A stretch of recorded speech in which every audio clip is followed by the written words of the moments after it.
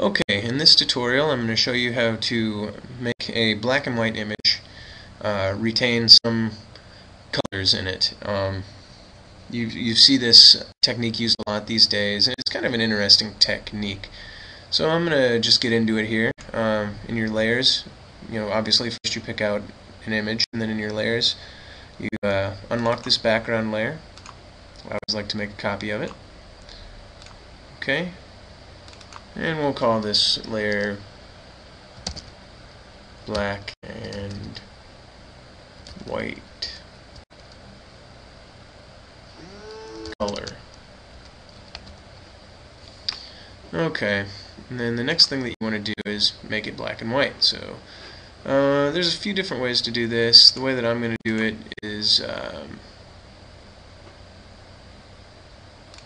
go into my uh, my adjustment layers and you'll click right here to go into your adjustment layers and you'll go into channel mixer. And you'll click on monochrome right here. And the next thing as, as you'll see that sets up your adjustment layer right here and you'll want to click on this as being your adjustment layer.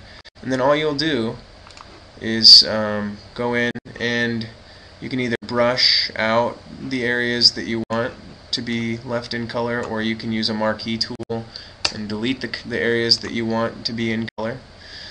So um, here I'll use a brush just to show you that you, you can brush them out.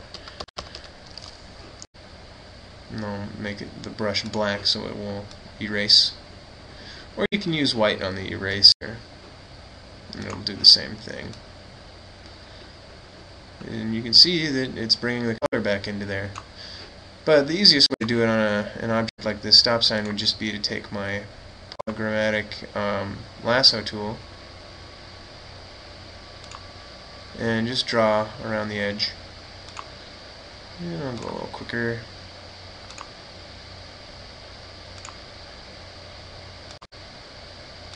Okay, and you have your selection, then you go ahead and just uh, you can press delete or backspace and it'll just erase that area in your image, and then what you'll have is you'll have your uh, your image that's mostly black and white, but you, as you can see, you've added the color back in by uh, releasing that part of the mask.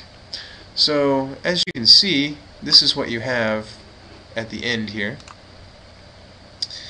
Um, and this is what we started with. Nice, beautiful, colorful image and then this is what we ended with. It's mostly in black and white, but you still have your stop sign,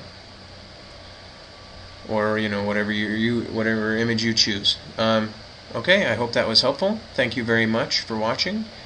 Uh, please watch the rest of my videos and subscribe to my channel. Thank you very much.